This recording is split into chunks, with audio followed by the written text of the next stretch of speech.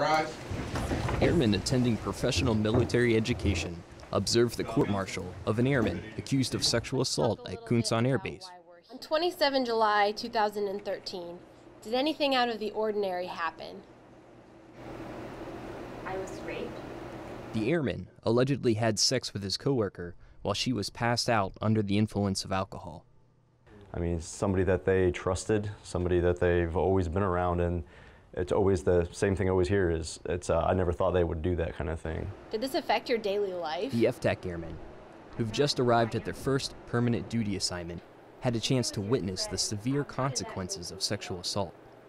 You know, it's one thing to hear it in briefings over and over again, to see the skits, to see the, uh, to see the PowerPoint presentations. It's a completely different thing to see uh, what a trial is actually like.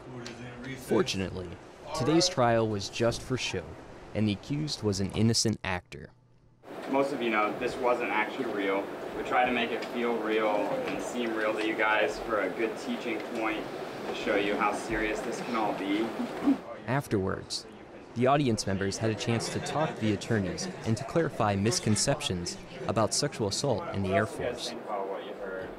If someone is under the influence of a substance, that they should not and cannot be able to consent to something like sex. The sexual assault response coordinator spoke to the airmen on how to get help if they're assaulted and about restricted reporting rights.